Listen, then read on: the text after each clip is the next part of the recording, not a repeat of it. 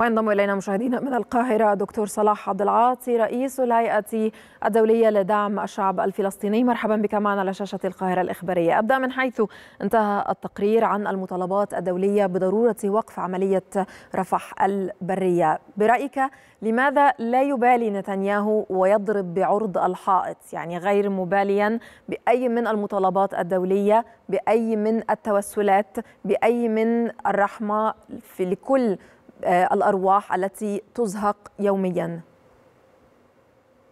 بداية صباح الخير أستاذة مساء لك ولجمهور المشاهدين والسلام والرحمة لأرواح الشهداء في فلسطين وفي قطاع غزة والتحية والسلام لأهلنا هناك. نعم كما ذكرت نتنياهو لا يبالي بكل هذه العذابات والمعاناة والفظائع وجرائم الحرب والإدانات الدولية وحتى المناشدات والمطالبات الدولية.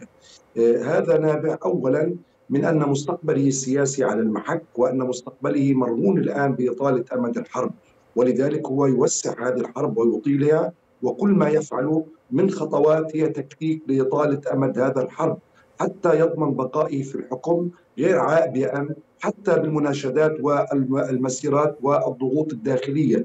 الإسرائيلية المطالبة بإتمام صفقة أو حتى الضغوط الدولية وطلبات حلفائه لأن نتنياهو يدرك تماما أن توقف هذا الحرب يعني بدء مسار المساءلة له على جرائم أو على قضايا سابقة وعلى أيضا الإخفاق الأمني والعسكري في السابع من أكتوبر. لذلك هو يمارس هذا البلطجة دون النظر في أي من التبعات التي يمكن أن تحدثها على صعيد العلاقات الدولية أو على صعيد العلاقة مع مصر أو على صعيد العلاقات مع دول الجوار أو حتى على صعيد المجتمع الدولي وعزلة دولة الاحتلال. هذا من ناحية. من ناحية أخرى يساعده في ذلك دعم أمريكي غير مسبوق. لا زال يتحدث تتحدث الولايات المتحدة الأمريكية على الرغم من التباينات عن دعم لدولة الاحتلال إضافة إلى أن العملية في رفح لم تتجاوز الخطوط الحمراء بما يعني ضوء أخضر لاستمرارها رغم أن نتنياهو تجاوز وإسرائيل تجاوزت كل الخطوط الحمراء الدولية ومبادئ الإنسانية وقواعد القانون الدولي والقانون الدولي الإنساني نعم. وهذه التصريحات هي امتصاصية وتخذيرية للرأي العام الدولي ولدول التصريحات الخاصة بالولايات المتحدة الأمريكية؟ نعم الولايات المتحدة الأمريكية وإسرائيل بالقول أنها عملية محدودة يومين وسيفتح معبر رفح اليوم السادس ويغلق المعابر تماما ولا تدخل المساعدات. نتحدث عن توسيع في العملية. كان في السابق أو في خلال الأربع أيام السابقة اقتصرت عمليات التهجير القسري في رفح على شرق مدينة رفح بواقع 150 ألف نازح. اليوم طلبت أو بالأمس طلبت إخلاء كل مناطق مخيم الشهورة وهو مخيم اللاجئين في مدينة رفح. ودكتور صلاح في الكثافة يعني السكانية. نعم وهل هذا يبرر انتقال العمليات العسكرية إلى الشمال مرة أخرى وإلى منطقة جباليا؟ هل هذا من داعي فكرة إطالة أمد الحرب؟ فنحن نتجه إلى جبهات أخرى؟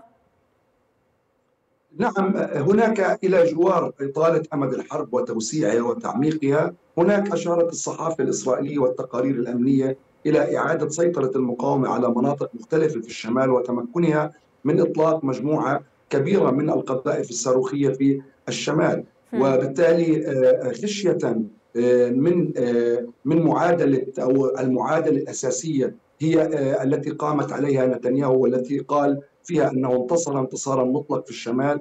هذا يظهر ضعفه ويظهر أنه لم يحقق الهدف انتصار الأساسي على ماذا؟ يعني ما الانتصار الملموس الذي ينتظر نتنياهو لكي يبرر ما يفعل للداخل والخارج؟ ما هو الانتصار؟ بالفعل هو دخل الشمال بالفعل هو دخل رفح الفلسطينية وقام بعمليات وقام بتهجير الأهالي إلى أماكن مختلفة.